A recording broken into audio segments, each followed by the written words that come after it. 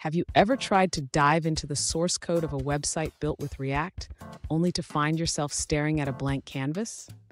It's frustrating, right? If that's you, then you're in the right place. Today, we're going to uncover how to view the actual React components behind those websites. I totally get it. You open the developer tools, and all you see is the root div. It feels like a puzzle with missing pieces. You're not alone in this.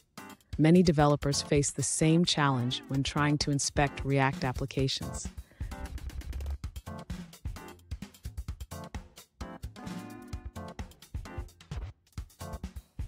Here's the specific question we're addressing today. One user asked, is there any way to view the React source code of websites built with React? They were frustrated because inspecting the page only revealed the root div and not the components. Sound familiar? Let's explore this together. So why does this happen? React uses a virtual DOM, which means the actual components are not directly visible in the source code. Instead, they are rendered dynamically. But don't worry, there are ways to see what's happening under the hood. And stick around.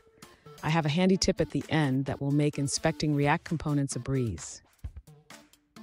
To view the source code of a website built with React, the user can start by opening the browser's developer tools. This can typically be done by right-clicking on the page and selecting Inspect, or by pressing Ctrl plus Shift plus I. Once the developer tools are open, the user should navigate to the Elements tab.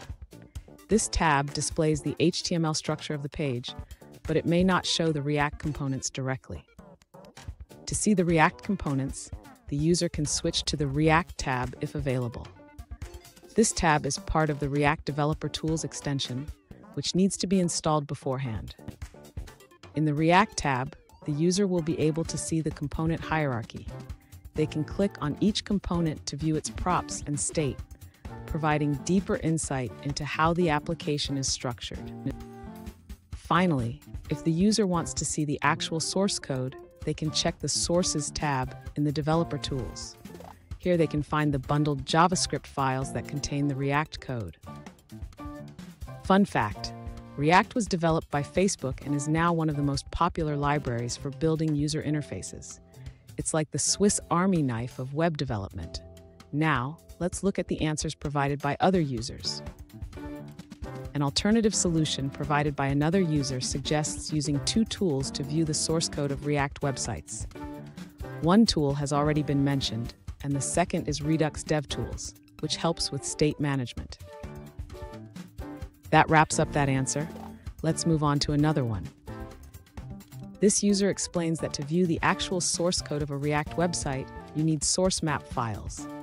Without them, you'll only see a vague, transpiled version of the code. They mention that when using Create React App, source maps are generated by default for each JavaScript file. This allows you to view the original source code in developer tools.